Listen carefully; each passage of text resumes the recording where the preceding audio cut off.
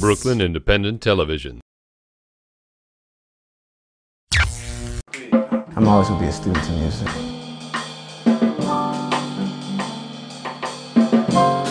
My name is Joel Holmes. I am a jazz pianist from Baltimore, Maryland. I've been living in New York City for three years now, Brooklyn, New York. I play jazz piano, but in general I just play music, different styles, from gospel to hip hop, R&B, neo soul, salsa, Afro-Peruvian, straight ahead jazz traditional, solo, ragtime music, just a whole lot.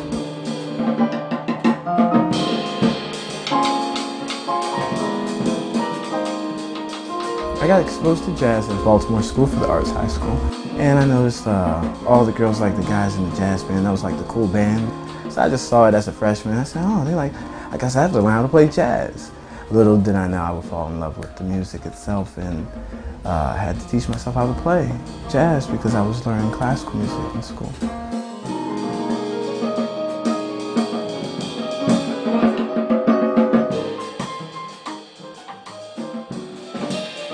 weeks ago I was in Chile and uh, that's like my second home now and there are over 100 jazz musicians there. And I just found out this trip that there were the first recordings of jazz and original compositions were back in the 1940s.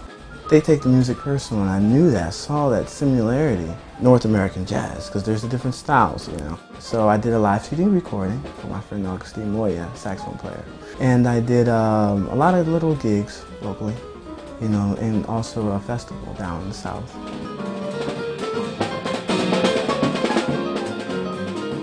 It was great to have fans, friends, family, people who are hungry for music. The government has sent me around as a jazz ambassador to countries they want to build stronger ties with. They send us in a program called the Jazz Straight Ahead Rhythm Road. This is part of the Lincoln Center. Sometimes countries that may not be the safest per se, but they take they send us out as special groups. And uh, we go and spread jazz and learn as well about their cultures. So I've been doing it even without the program. I still go out solo, even if I'm spending my own money for the tickets, because just for the preservation of music, you know.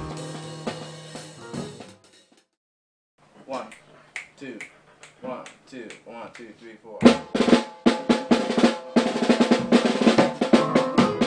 Four. Four. One, two, three, four.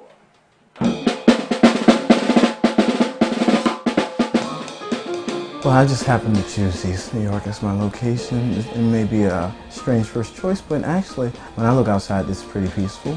It's nice and safe, and well, my area is, and very relaxed. I can get away from all the chaos and everything.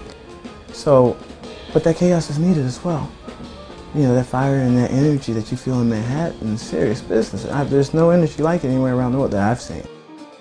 New York is, well, let's just say Brooklyn is the home of many jazz musicians. We have a little group, we call it the Greenhouse Effect, and basically what we're doing is jamming, working out on ideas that you can't necessarily do at a jam session at night because a lot of people want to play, and you have time limit. We had um, Joe Blacks on the drums, and we had Matt Clifford on the bass, here we're kind of free to do work on songs that we want to work on, stop, talk, listen to a song, learn it together. So now we're going to have more musicians, horn players, and singers come over and join ideas. Then I'm going to have several piano players come over and we do things. Just kind of bring the community tighter in Brooklyn.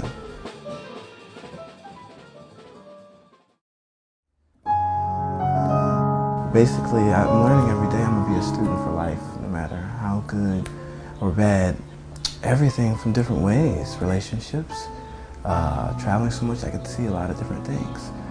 Culture, taste different foods, reactions, all the senses, smell, see, taste, you know, in every different country you just get inspired different ways. Emotions definitely help me write songs.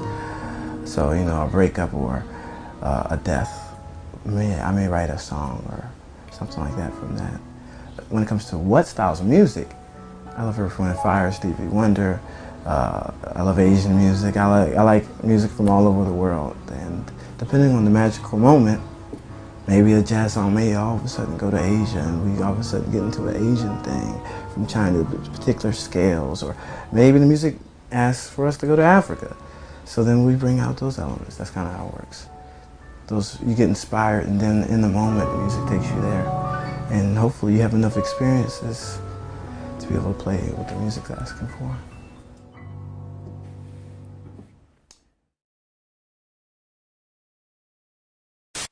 Download this program's podcast on iTunes. Keywords Brooklyn Independent Television.